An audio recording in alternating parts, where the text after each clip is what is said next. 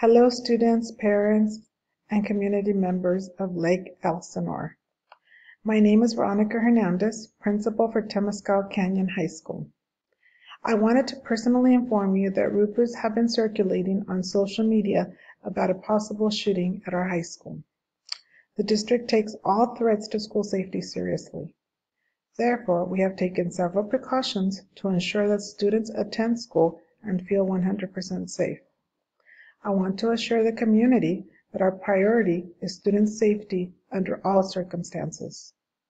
We at Temescal Canyon High School have been working closely with the Sheriff's Department to investigate the rumors. It is vital that we provide you with accurate information that is trustworthy and that comes from a reliable source. Therefore, once the Sheriff's Department has fully investigated the rumors, we will send out another communication. To ensure student safety, we will have five sheriff deputies at our school site to provide security during the week.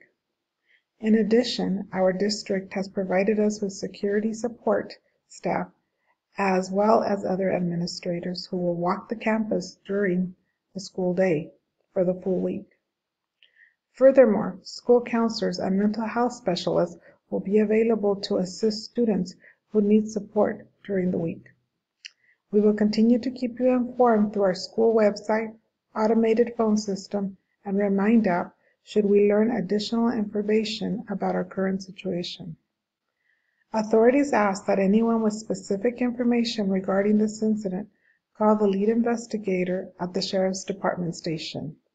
I thank you for your time and remind you that student safety at Temescal Canyon High School is our top priority. Thank you.